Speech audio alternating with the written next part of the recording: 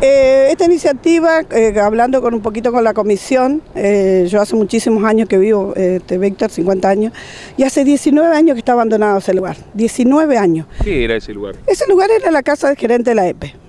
así que después él se fue y imagínate 19 años lo que pasó de todo, desde árboles, este, una mugre, un abandono total.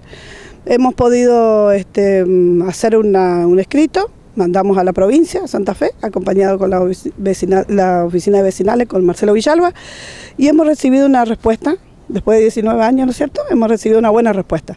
Así que la empresa provincial de la energía nos cedió ese lugar como dato por cinco años eh, para que podamos realizar eh, las actividades que nosotros teníamos este, pensado.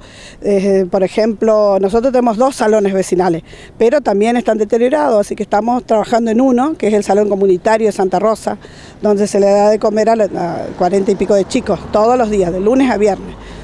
Eh, así que tenemos nosotros el lugar y la policía también necesitaba un lugar para realizar sus actividades, ¿no es cierto?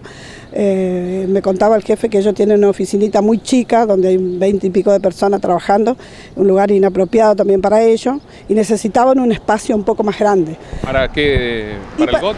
Para el GOT, para el GOT. Así que este, pudimos cedérselo, hablamos con la, con la gente de la comisión y pudimos cedérselo para que ellos puedan realizar sus actividades para que también la ciudad esté más protegida esa parte, ¿no es cierto? Porque es un poco difícil también de que la seccional novena para el, para para este, el oeste este, ir y venir y venir todo el tiempo. Es distinto tener una base, una central ahí.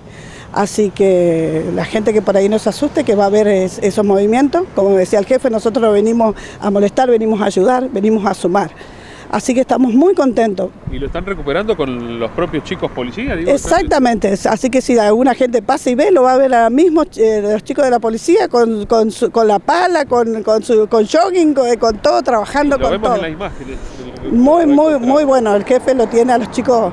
¿Para qué fecha se va a trasladar? Y estamos esperando, está muy deteriorado el lugar, también no es fácil poder arreglar todo eso, se ha tumbado todo el techo, hace falta reparar ventanas, este, y estas situaciones que estamos teniendo en estos tiempos que se está viviendo, no es, no es fácil también este, eh, con los gastos, ¿no es cierto?, de, todo lo que demanda ese lugar, ¿viste? Está, por te digo, está muy, muy deteriorado. Pero se recupera un lugar interesante para el Un lugar histórico de 19 años, mucho tiempo, eh, Víctor. Así que nosotros estamos muy contentos. Y yo principalmente como presidenta estoy muy contenta porque pude lograr esto que hace tanto tiempo no se ha podido lograr en eso otro tiene momento. que ver con la gestión, digo, porque si uno se queda de brazo cruzado que todo le llegue, bueno, gestionando se puede lograr. Gestionando se puede lograr un montón de cosas.